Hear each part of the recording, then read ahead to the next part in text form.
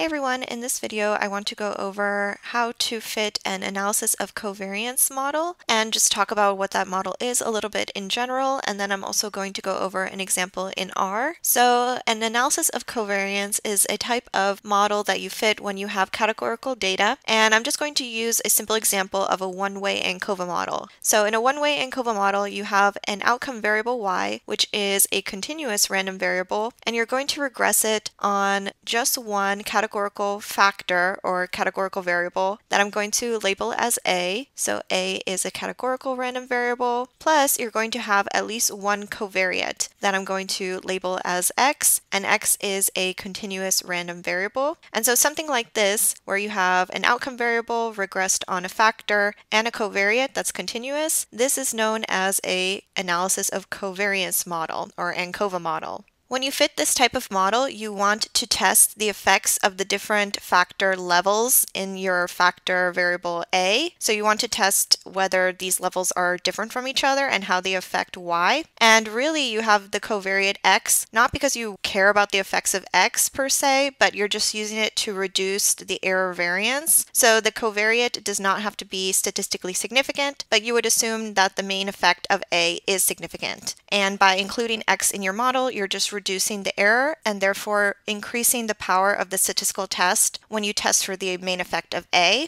When you fit this type of ANCOVA model, I usually do two F-tests to show that the ANCOVA model is the appropriate model to fit for the data. So you don't have to test that X is significant or not because it's just a covariate, but you should make sure that the main effect of A is significant. So we want a significant test to show that A is statistically significant. And then another important assumption for the ANCOVA model is that your covariate has to be independent of the main effect A. So the covariate has to be independent of the factor. So that means that there should be no interaction between A and X. So I'm going to show in the R code how I would do this, but basically I would just perform two F tests to show that A is significant in the model, and then I would also show that the interaction term A times X is not significant in the model, and therefore the appropriate model should be Y regressed on A and X. And so the name of the F-test that I do, and I perform it twice, is called the General Linear F-test. And that's the type of F-test that you use when you want to compare full and reduced models. So in the first step, I would compare the full model, which has an interaction term, so it would be y regressed on a plus x plus a times x, and I would compare that to a reduced model, which is your ANCOVA model, which is y regressed on a and x. And for this one, you want to show that the interaction term is not statistically significant, so the f-test between the full model and the reduced model should not be significant. Therefore, you can use the reduced model, which is the ANCOVA model,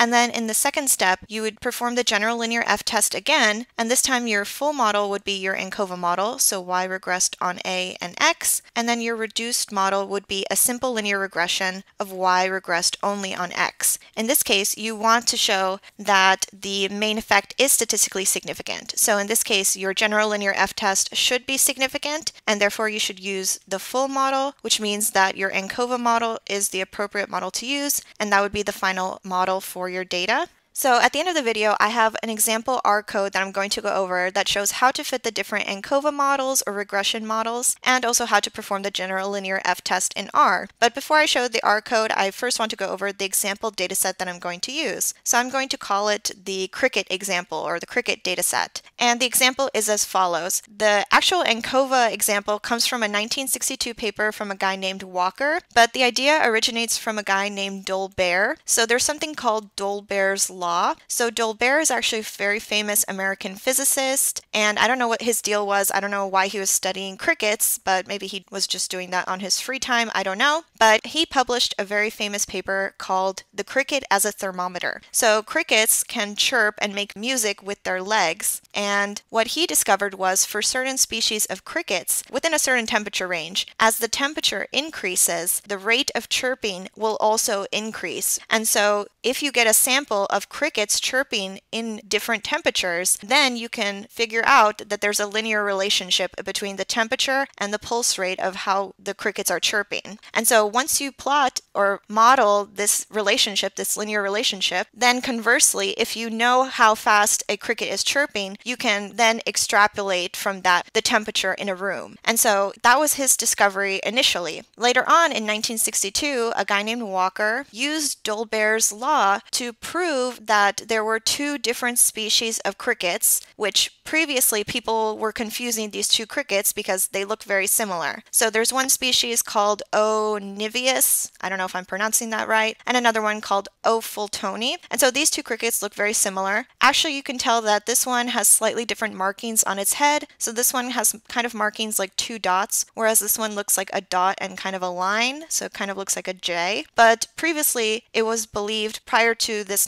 1962 paper that these two species of crickets were the same. What is one way you could prove that these two crickets are different? Well, if you know that these species have a certain chirp rate within a certain temperature range, what you could do is perform an ANCOVA model where you have a factor which is the two different samples of crickets. And then you can have their pulse rates or their chirp rates across different temperatures. And then you could test whether the two factor levels are significantly different from each other while controlling for the effect of the temperature over time. And so this is a very famous example of how you could perform an ANCOVA model to prove that if their chirp rates are different, so the linear regression lines are significantly different from each other, then these two species must be different from each other.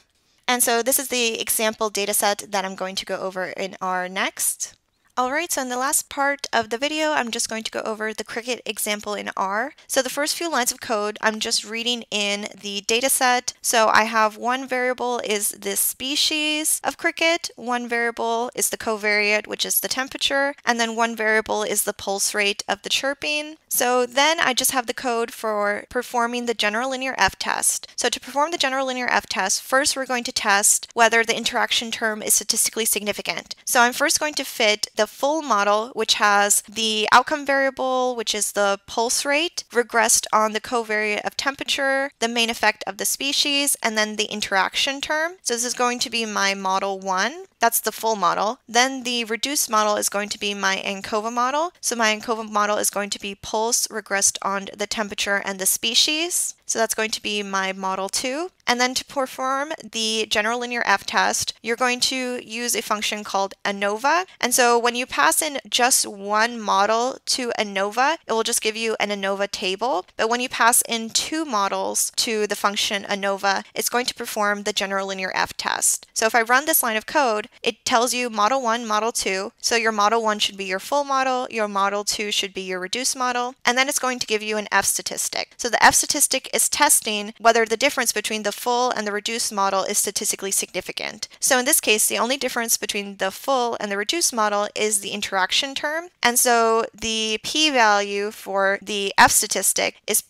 0.2542. So since the f statistic is greater than 0.05, we're going to fail to reject the null hypothesis. And so we're going to be able to use the reduced model. So this is basically saying the f-test is not statistically significant. There's no significant difference between model 1 and model 2 because the interaction term is not significant. So therefore, you should use the reduced model, which is the ANCOVA model. Then finally, we're just going to test that the main effect of the species is statistically significant. So to do that, we're going to again perform another general linear f-test. In this case, our full model is going to be our ANCOVA model, and our reduced model is going to be model 3. Model 3 is just a simple linear regression between pulse rate and the temperature, and so there's going to be no main effect of the species. So I'm just going to run that line of code. And then to perform the general linear f-test, again, we're just going to use the function ANOVA. In this case, our full model is the ANCOVA model, which is model 2, and our reduced model is the simple linear regression, which is model 3. And so when I run that line of code, it's again going to give me model 1 and model 2, which are the full and reduced models, and again give me the f statistic and the p-value. So in this case, the p-value is very, very small. It's essentially zero. Because it's less than 0.05, we're going to reject the null hypothesis. So the main effect of species, which is the factor variable, is statistically significant. And so these two models are significantly different from each other. And when you perform the general linear f-test and it's